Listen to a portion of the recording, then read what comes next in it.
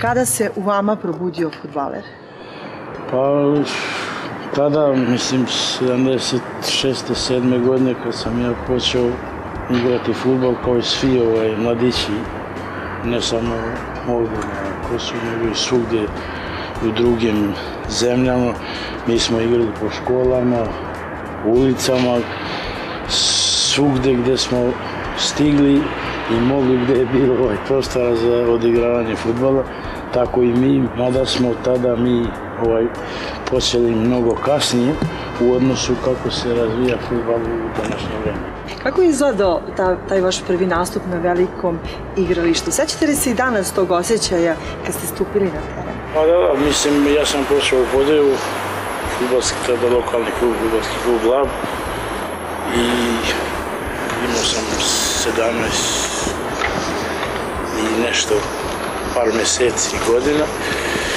I tada ovaj, igrali smo za juniore prvo, pa onda ko sam prešao prvu utakmicu za seniore futbolskog kluba Lav, to je bilo 17, 17 i po godina i to je bila prva utakmica, normalno da je prva utakmica jedan drugačiji osjećaj i, i odnosu što je bilo ono sa društvom, to je sasvim drugo, jer sad je ovaj organizovani futbal u klubu i tako kao i, kao i svi drugi ja sam počeo da igram i mislim da je to bio jedan osjećaj kao što jedno ovaj, ne može se opisati to jer dok sam ne uđeš i to ne, ne, ne doživljavaš sigurno da je ovaj teško to pričati. Da li ste i tada sanjali sa stadionom sa preko stotinu hiljada gledalaca ili je tada futbol za vas bio najvažnija sporedna stvar i imali ste sasvim možda neki drugi životne planove? Pa, sigurno ovaj, tada kad počinješ, nikako nisam počeo, naravno mi iz tadašnjih ovaj, vremena, kad sam rekao da smo mnogo kasnije ovaj, počeli da se bavimo organizovanim futbolom po klubovima i sigurno mi smo prvo počeli da igramo kao hobi, to što ste vi rekli, naj, najveća ovaj, sporedna stvar na svijetu, koja je svugdje po, po svijetu, što je futbol popularan i to, ali nikako nisam ovaj, ni sanjao da, da ću biti ovaj, profesionalni futboler i to sa vremenom među najvrhunskim futbolerima Jugoslavije biše. Iz Podujeva i iz futbolskog kluba Lap prelazite u Prištinu i tada sa Prištinom a, osvajate i ulazite zapravo u tada vrlo jaku saveznu ligu. Kao prvo e, imao sam jedan izlet do Obilića u tadašnji klub Obilić, no, četiri meseca. Jesi to računa? Pa svugde kad počinješ onda i to računa, onda sam se vratio još jednom u, u Podevski lap, jer lap je tada bio u, u velikim poteškoćama za opstanak u Kosovsku ligu tadašnju.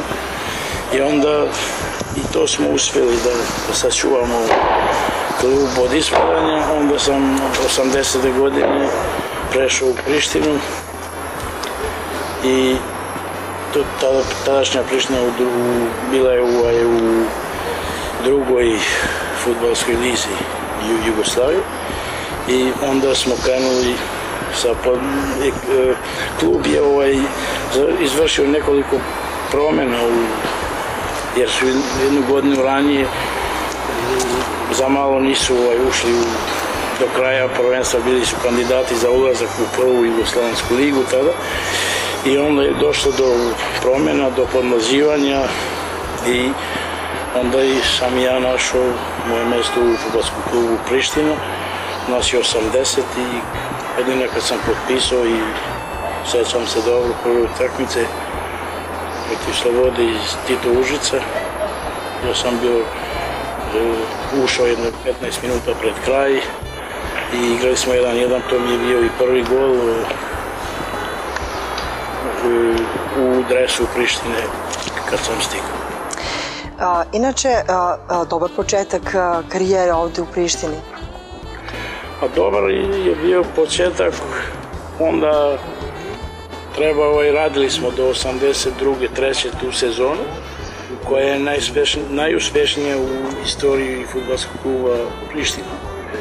Jer, znači, u krajem maja, početkom juna.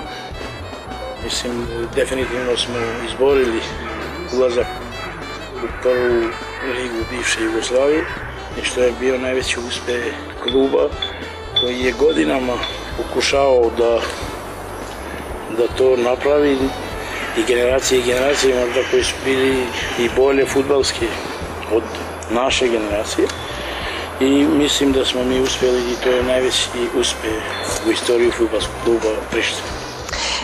I pre vas u Partizanu je bilo igrača sa Kosova.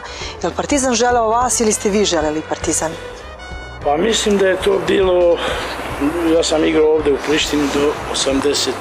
godine i Priština je, mislim, bez problema e, svake godine, naročito prve moram ovaj, da potenciram 83. za malo smo izborili ovaj ulazak kupu UEFA i tek dve utakmice pre kraja izgubili smo ovaj šanse da budemo ovaj, među pet ekipa da, i praktično da smo bili pet ili šesti obezbedili ovaj pravo na takmičenje UEFA. Onda sam do 86. i onda 86. onda je došlo malo više nisam mogao ni, ni ja da dam više Prištini.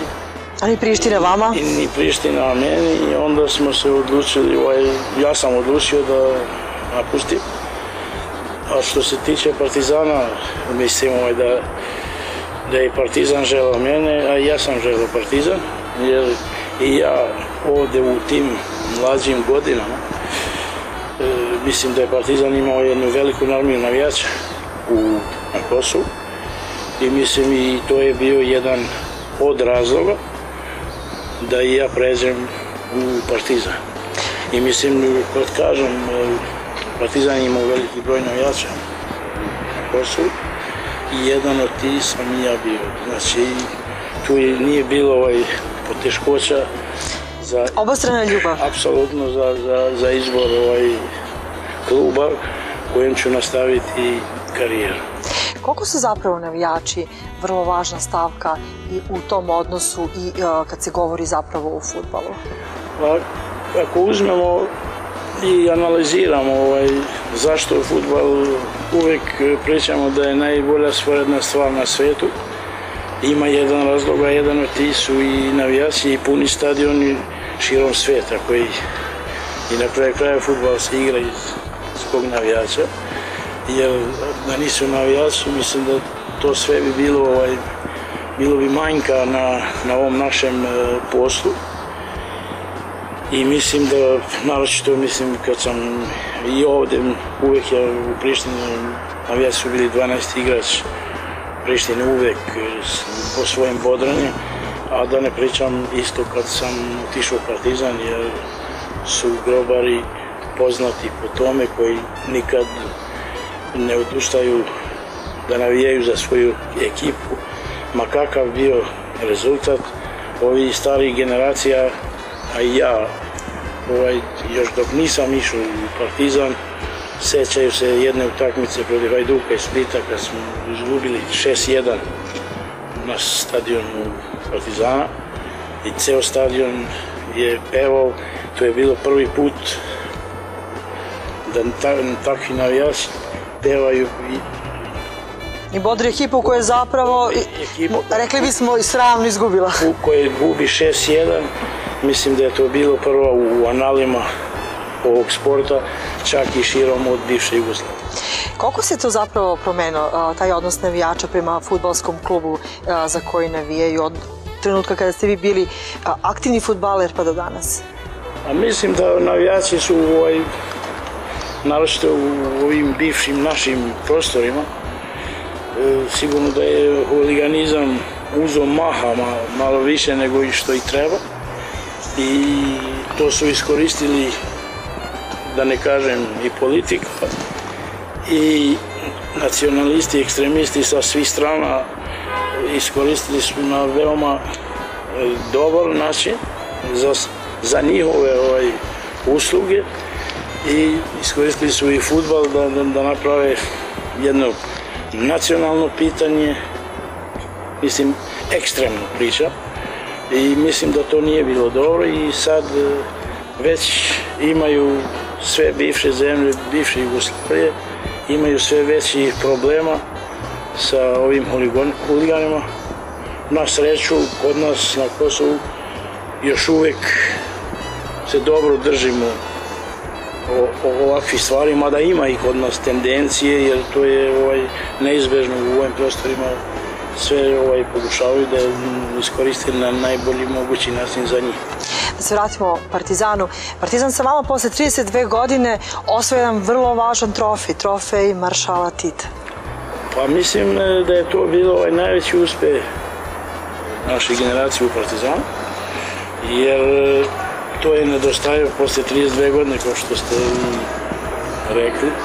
To je bila želja svih u klubu, posle jednog dugog velikog posta što se tiče ovaj kupa Jugoslavije i mi smo na briljantan način osvojili to sa Vladaški Velež iz Mostara 6-1 na, na, na, fin, 6 na finale ovaj, kupa Jugoslavije.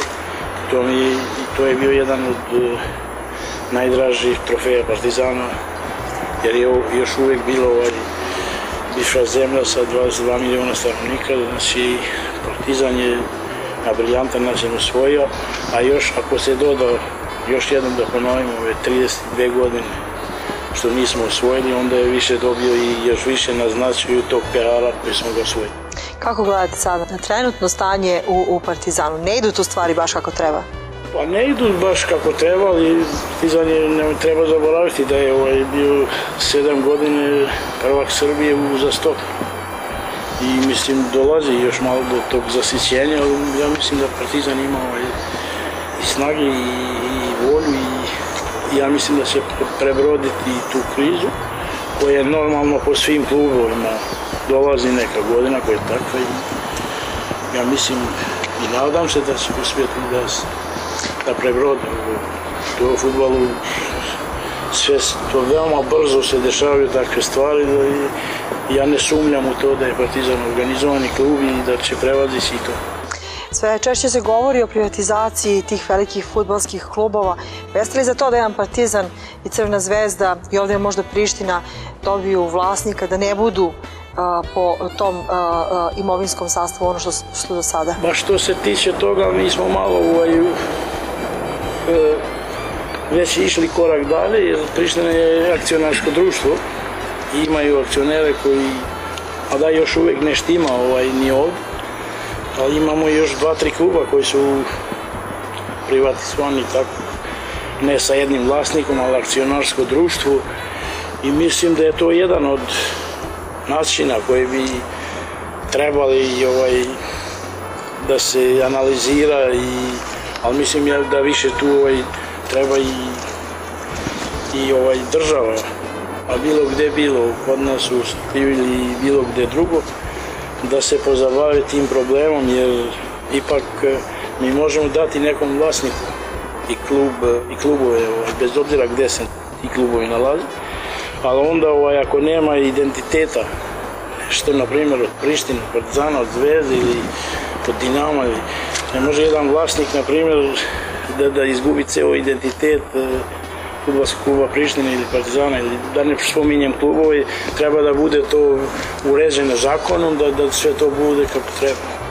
Koliko ste puta igrali za da, nacionalni tim tadašnje one velike, velike države?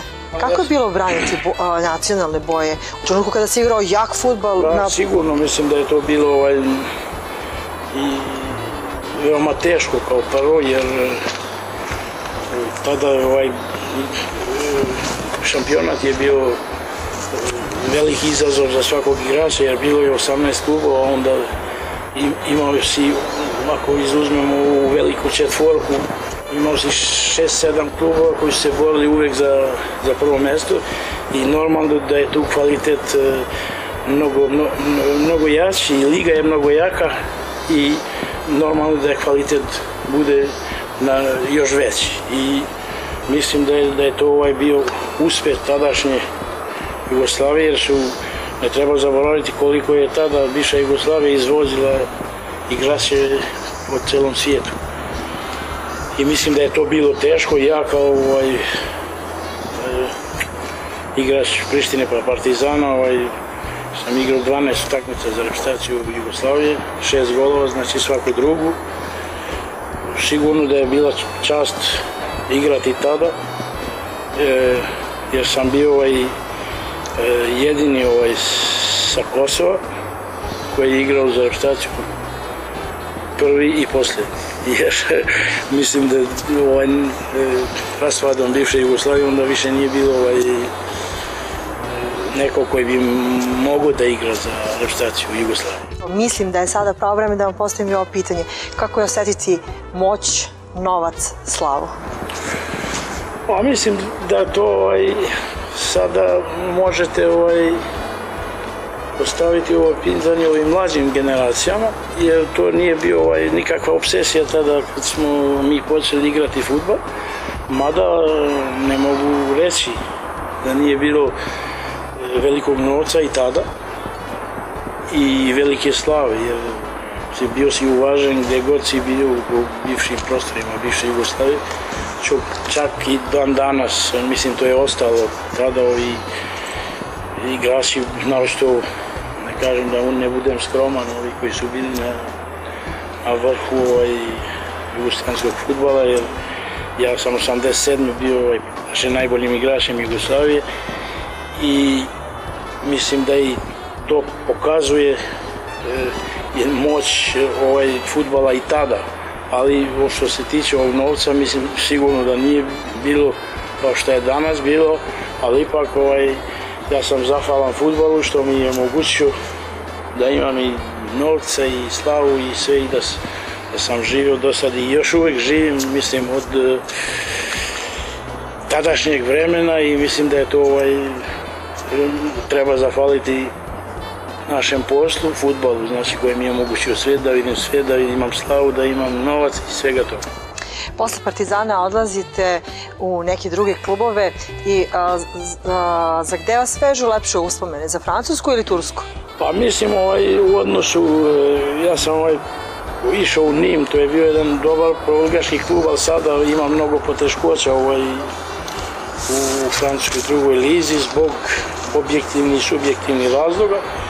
Ja sam ostao jednu godinu dana, onda sam prešao u Fenerbahče, to je jedna industrija, jer mislim, futbal je u, u samom sebi nekakva vrsta industrije, narešto danas, ali Fenerbahče je jedan veliki klub, evropski klub, bez obzira da je, mislim, jedan od najvećih klubova sigurno u, u Turskoj da ne pričam, nego sigurno tamo je futbal ovaj nešto više i iznad futbala. Ali ipak, ipak ste u Francuskoj bili i na a, poziciji direktora u jednom futbolskom klubu. Da, postoje sam išao, dve godine sam bio u Fenerbahče, onda sam se vratio zbog dece, još pa je deca trebali da idu u školu i ja sam ovaj, mislio da, pošto smo već jednom bili u Francusku, onda sam se vratio opet u jedan e, drugoligaški klub i tu sam ostao opet nekoliko godina i dan danas, e, mislim, imam to povezuje sa Francuskom jer tamo i porodica i živimo i ovde i tamo. Znači, Francuska je bila jedan prelomni trenutak jer sam ja bio pri kraju karijere i zbog toga sam bio postao u Monlusonu, to je jedan treći ligaški klub koji sam tu i ostao da živim nekoliko vremena.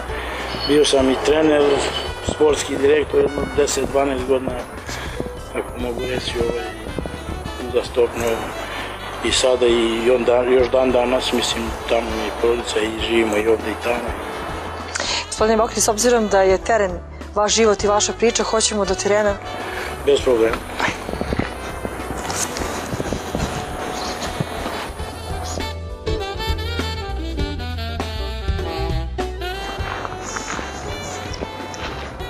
Gospodin Mokri, je li uvek isti osjećaj kad zgazite travu na futbolskom terenu? Pa, nije baš isti, pošto mi smo moje krampone, ali mislim samo ulazak jedan futbolski teren. Ipak, ostalo je to uspomen i to u dobroj uspomen. Kako se nalazite, snalazite sada u ovoj novoj sportskoj uh, ulazi? Jer vas ispunjava uh, isto kao i kad ste postizali golove? Pa mislim da ovaj sad je bilo ovaj dosta naporno, već 7 godina ovaj, mi pokušavamo da budemo primljeni u futbalske internacionalne institucije, UEFA i FIFA i mi smo da posle jednog velikog truda i rada, da ne kažem daninosno, ipak smo uspjeli da dođemo ovde sad sa ovim zadnjim ovaj, izvršnim komitetom u Malti i UEFA koji je našu aplikaciju prosledio u kongres sledeći kad bude početkom iduće godine, ne znamo još datum e, tog kongresa. I tu će ovaj odlučivati o daljoj našoj sudbini Futbolskog savjeza Kosovo. I ja se nadam ovaj, pozitivnom rešenju za kosovski futbol i mislim da sve to ide svojim tokom i ja se nadam da će ovaj, sledeće godine biti u tim međunarodnim institucijama i ja mislim da i i futbalski sa te strane zaslužujemo da budemo jer i mi smo kao sve ovaj druge republike bivše Jugoslavije zaslužili da se nađemo u ovim institucijama. Koliko je Kosovskom futbolskom savezu olakšan taj put ka FIFA i UEFA sa vama i vašim i vašim sportskim rezultatima? Pa ja mislim da, da, da kažem opet da ne budemo ovaj skromno, skroman, ali stvarno jeste, mislim, meni, meni je pomoglo dosta to ovaj, što sam kao bivši igrač eh, ovih prostora i mislim da, da meni sigurno da je, da je bilo malo lakšije od ovih drugih kolega, mada su i oni prethodnici, vam priznati da su svaki radili na najbolji mogući način i u raznim etapama, jer eh, ja se nadam, a neću sad ovaj, ući ove druge analize, ali sećam se i tog vremena kad je bio onaj paralelizam zbog bivšeg režima što je bio i vi znate i ovde da ne ulazimo u političke vode, ali ipak oni su imali još tada još najteži zadatak da organizuju to takmičenje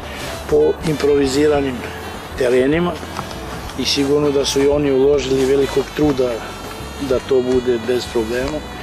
I mislim da smo mi nastavili sad u drugom i, i još možda u nekim situacijama još otežavajućim uslovima jer trebalo, trebalo je ići svugde po Ciliju, po Ženevi, po svim ovim drugim federacijama da, da mi dokažemo da mi zaslužujemo da se nađemo u, ove dve institucionalne institucije futbala u EFI i FIFI i mislim da smo došli dosta blizu toga, mada vi znate da smo i mi imali ovaj uvek taj artikal u statutu gdje ti nacija to je sa ovim zadnjim kon, e, izvršnim komitetom u Malti izbegnuto to. I sad očekujemo ovaj glasanje u redovnom kongresu UEFA, jer mi smo imali problem sa UEFA-om i onda FIFA automatski tu nema nikakvih problema.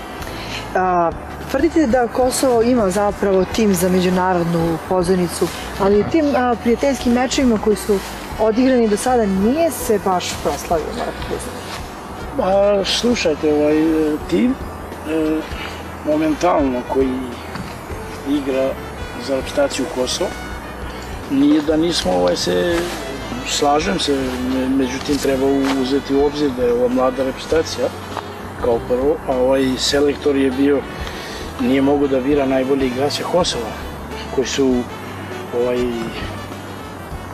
koji mogu igrati za Kosovo.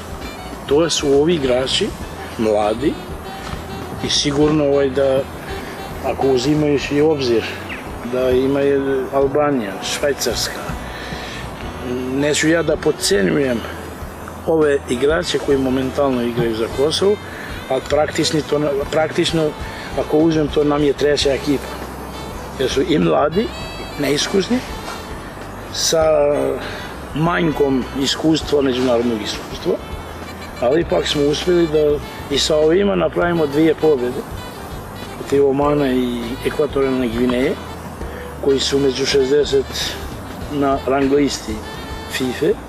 Izgubili smo od Turske i od Senegala, to su dve ovaj, sile koji ne treba trošiti reći gdje se nalaze u, u FIFA-noj ovaj, rang listi. I mislim za, za početak nije loše ovaj, i ova reprezentacija aktualna koja brani boje reprezentacije Kosova. U slučaju da se priključe i oni protivnici koji igraju za, za strane klubove u Švajcarskoj, pomenuli ste i drugim zemljama i koji igraju za druge reprezentacije, gde vidite dome kosovske reprezentacije?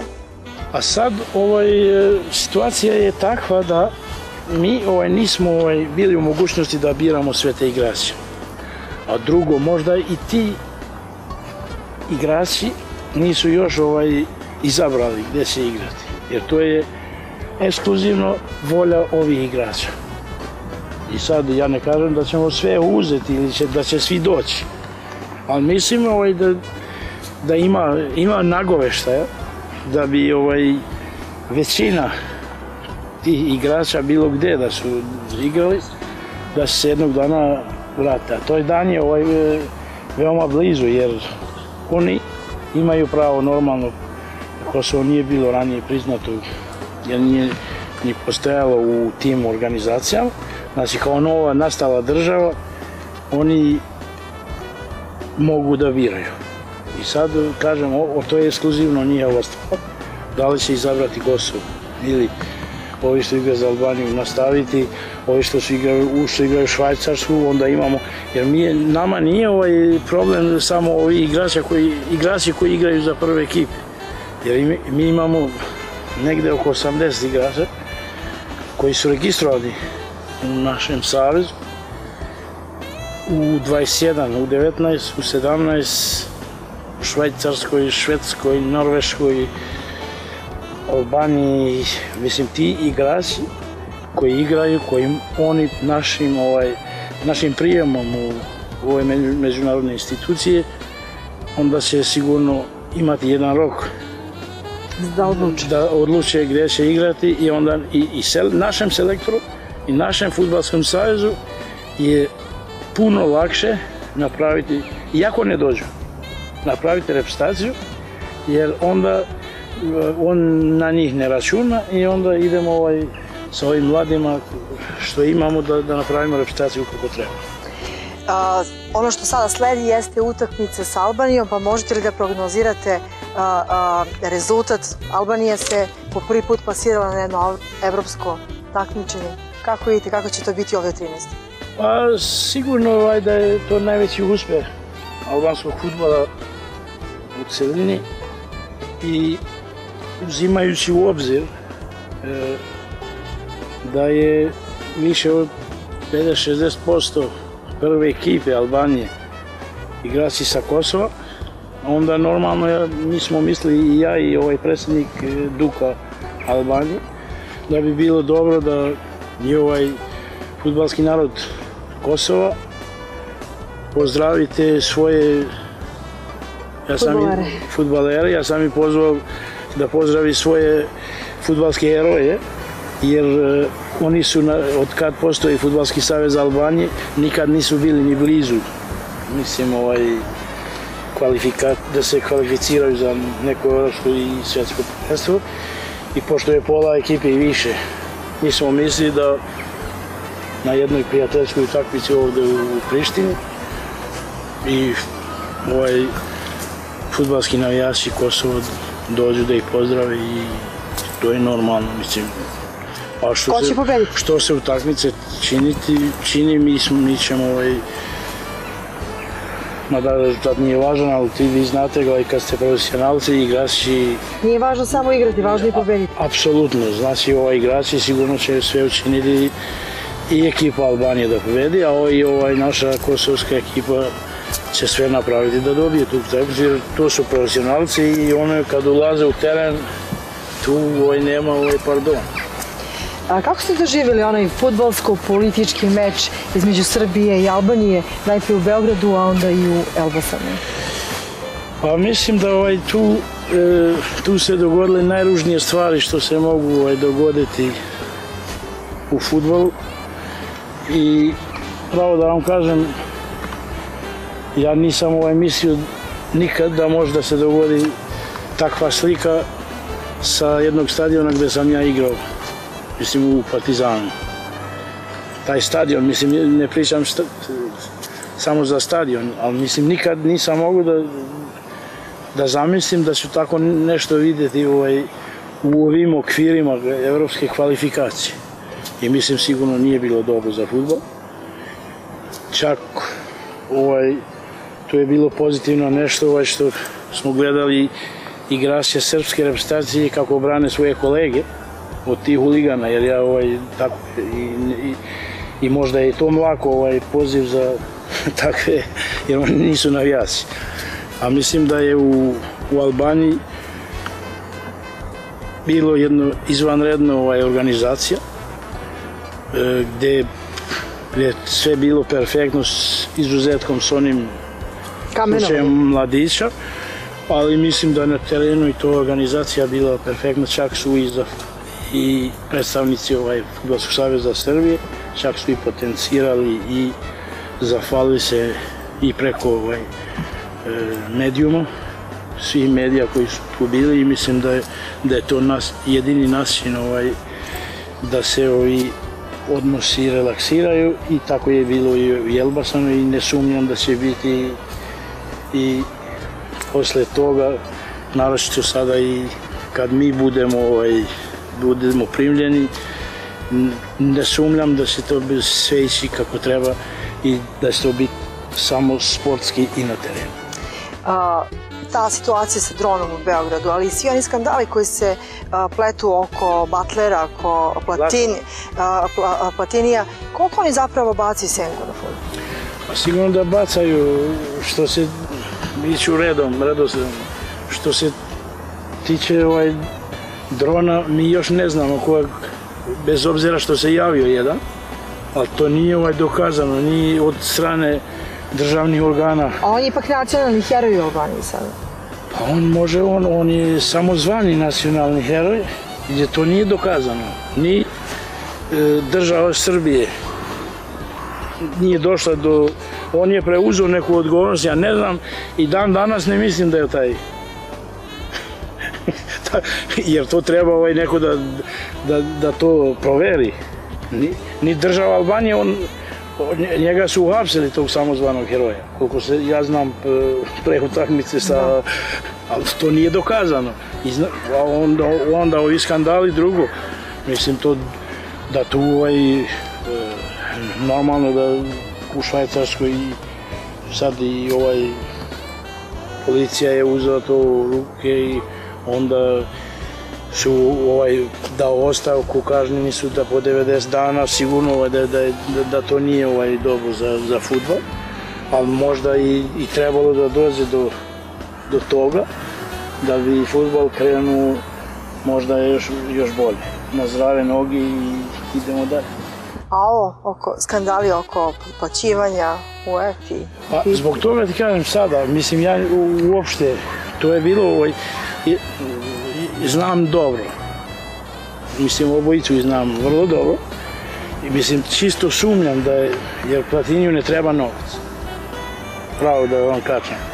I sad, zašto je to odukovlašeno da baš u, u ovo vreme izlazi u medijama, sad ovaj, sigurno da će ovaj, ovi koji, koji prate ovaj slučaj, sigurno je i švajcarska, policija švajcarski i FBI i oni sad e, kontroliraju to i sigurno će da izaći izvanično neka to, to oni što su privedeni bivši ovaj e, i neki sadašnji veliki, veći funkcioneri koji, u, koji su u FIFI oni su pritvoreni i ovaj taj dosije još traje, vidjet ćemo na kraju dok ne bude izlazilo sve na video.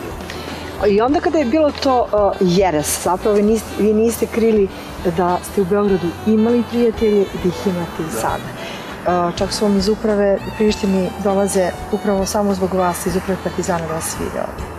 Pa normalno mislim da, da je futbal uvijek spajao ljude i ako se sjećate kad je bila ovaj, opozicija e, Futbalskog savjeza Srbije pre jedno četiri godine kad sam ja pozivao da treba igrati mladići i Kosova i Srbije i mislim da tu nema ništa jer futbal je uvijek bio taj koji spaja ljude.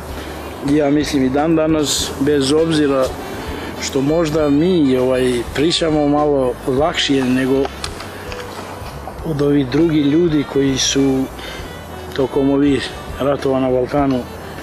Jer mi ne znamo, možda je neko izgubio članove porodice. Bez obzira sa koje strane, mislim, pričamo ljudski. Sigurno da oni teško ovaj to, to doživljavaju. Doživljavaju i mogu razumjeti. Zato kažem, možda mi lako pričamo, ali ipak vremenom mi, mi ne treba da gledamo pozadi nego napred. Kako vidite odnose, dalje odnose Srba i Albanaca? Može li tu napokon da se računa na fair play? Pa, slušaj, ovaj, to mora doći vremenom sigurno. To sam ubeđen jer kad bi tako bilo onda ovaj svet ne bi ni postojao i onda ovaj tu bi bilo svake, kad bi se uvek gledao take, možda je promjeno malo generacija sigurno se drugačije misliti, ali ako uzmemo sada, ima jedan slučaj ovaj, mi ovaj malo stariji koji su, nismo ni mi to doživjeli, ali smo platili preko istorije i ovaj, sve uzmemo Francusku i Nemačku, mislim da je to dovoljno dokaz da treba da se ide, da se gleda napred, jer oni sada su ovaj, tvorci nove Evrope i, i oni su napravili ovu Evropsku uniju i sve i te dve zemlje koji su u istoriji ratovali koliko je to sve prošlo godina i najzad su ovaj, njihovi odnosi su napravili da i bude i ova Evropska unija koju mi danas gledamo i sanjamo da budemo njihovi članovi. Za krajom razloga želim da vas pitam a, koji je savjet za one koji tek počinju da se bave futbolom? Šta jednog sportistu čini da je dobar futbol, futbaler? Pa slušaj, ima nekoliko ovaj parametara tu i oni... Šta je najpresudnije? Najpresudnije je rad. Jer u jedno vreme koje smo mi prošli, trebalo je talenta. Bez talenta se ne može, sigurno. Ne može neko koji nema ovaj, talenta da bude futbaler. Ali posle sigurno da je sada obrnuto. Sada 80% sve čini rad i samo rad. I mislim kad gledaš i ovako i oni koji su nisu ovaj e, postali neki veliki futbaleri ja mislim da je ovaj u socijalnom slučaju futbal i sport e, jedan od važnijih faktora da i budemo građani kao ljudi i ja mislim da u tome možda je još važnije nego biti čak neki vrhunski e, futbaler. Ja vam najviše zahvaljujem što se kad dva ispričali svoj priču. Hvala vam. Hvala.